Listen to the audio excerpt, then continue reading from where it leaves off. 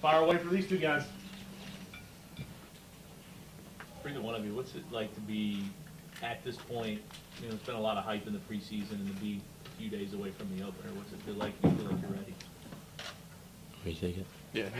Um, I think this. Uh, I think the team. Uh, it's a very old team. There's a lot of. Uh, there's not a lot of youth on it. It's a lot of leadership, a lot of older guys. So I think um, everyone knows how to prepare for a season. Everyone knows how to uh, how to just take on that just eagerness of that that first weekend. So I think uh, everyone's pretty much ready um, to address the the rankings and stuff. Um, it's never really been a thing for for guys in the locker room. Uh, we all know what we got ourselves into when we came to Louisville baseball, and uh, part of being uh, part of this team and part of this culture is uh, having those high rankings and having to deal with uh, the expectations of it. So I mean, I think we're all ready for it, and we're just excited to get the season started.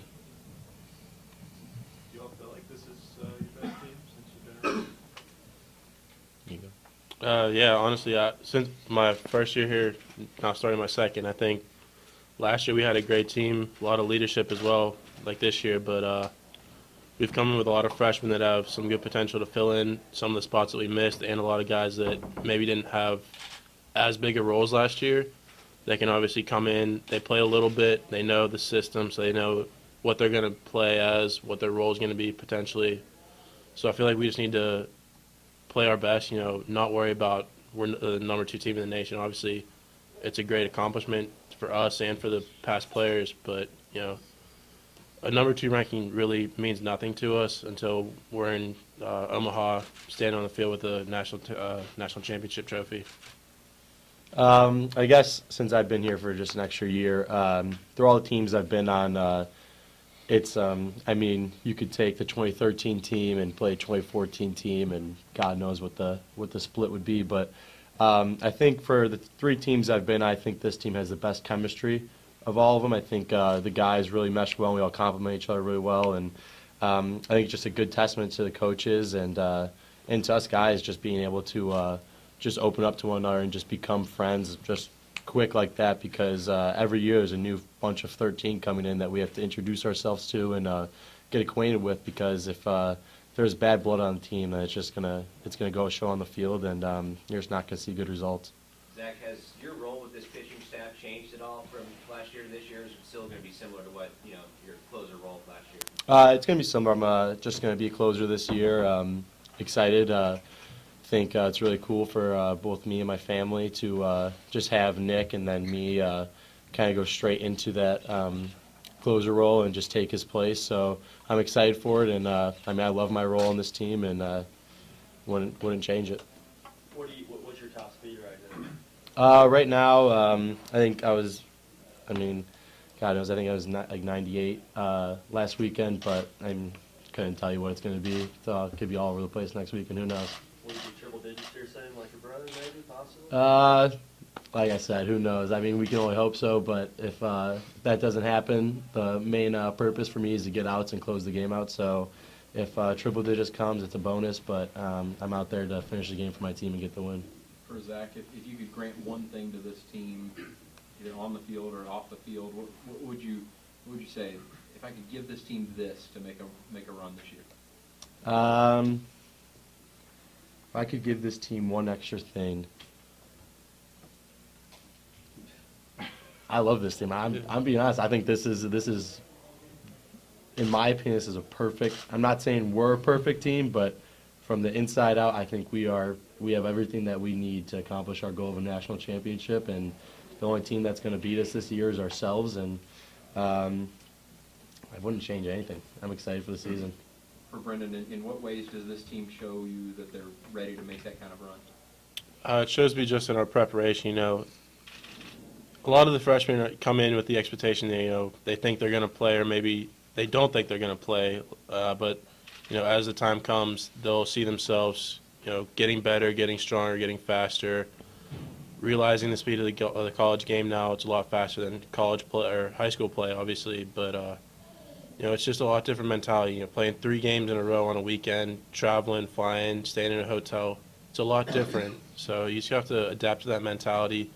Stay focused for those three days that are real long, tiring, but just push through and prepare yourself each week to play your best and be your best.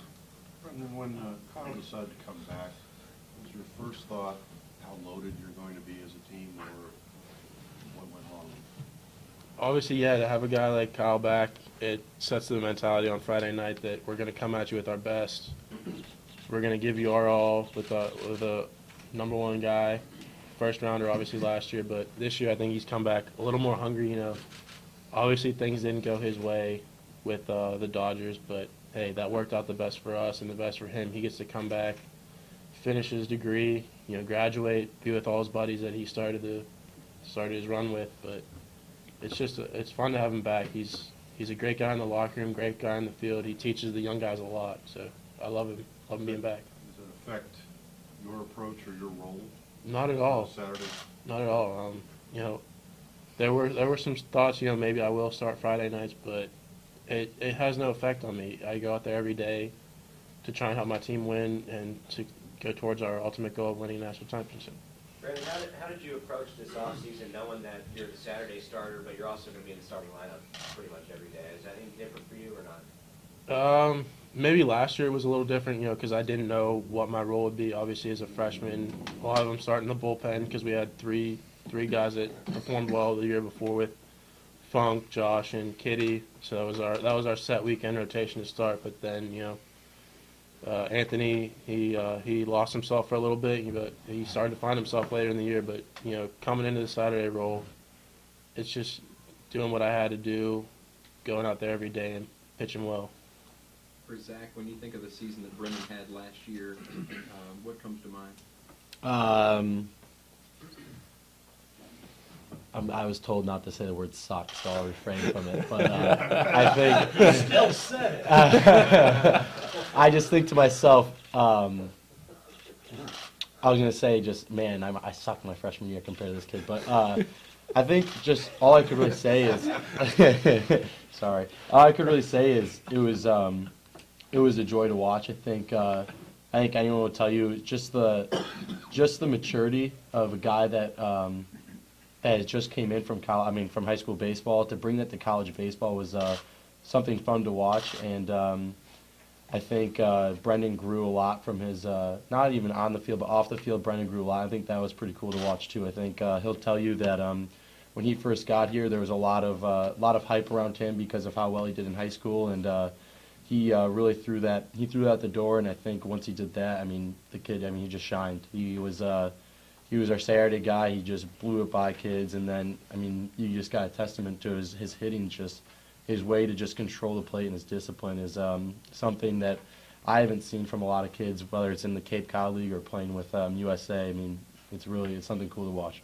Brendan, where, where's the big even keel in, or how, how do you not get yourself too high, too low, different things in games on the mound? How do you, how do you, where did demeanor come from? Uh, really, I think it's just how I take life. You know, you can't stress over things like, eh, obviously in school, you know, there's going to be some classes that, no matter how hard you try, you may not get the grades that you want. So you can't let that bring you down and say, "Oh man, I I'm not going to pass this class." You know, you just have to go in with the mentality that no matter what, I'm going to give it my all, honestly, and just not worry about things. That's that's just how I go about life. If something's bothering me, I kind of just let it low until I need to, I guess, figure it out with myself and just talk it talk it out.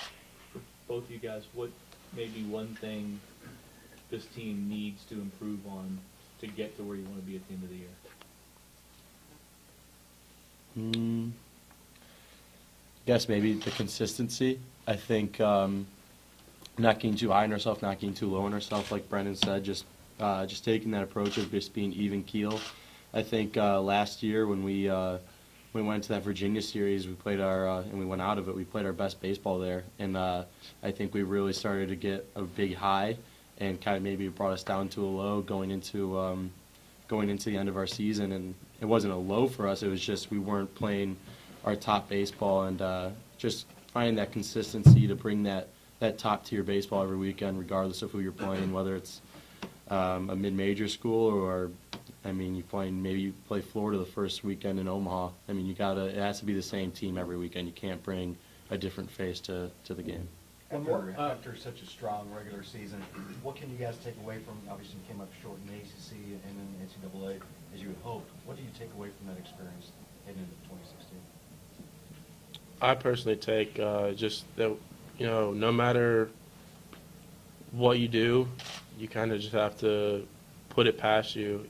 We won, we set the record for the most wins in the ACC, but you know we we couldn't come up in the clutch when we needed, I guess. So I think we just need to stay a little more focused, and you know, as towards the end of the season, you're obviously tired, you're worn down, but you need to mentally prepare yourself and physically prepare yourself for that just all-out duel that you're going to have for those next three to four weeks of just constant baseball, constant mental games with fighting with the pitcher, fighting with the hitters that are gonna you're gonna face, and obviously the coaches in the other dugout too that are gonna try and uh, pull a couple trick plays, I guess, just try and sneak things by you. All right, Thank you. you guys are good. Corey and Nick next.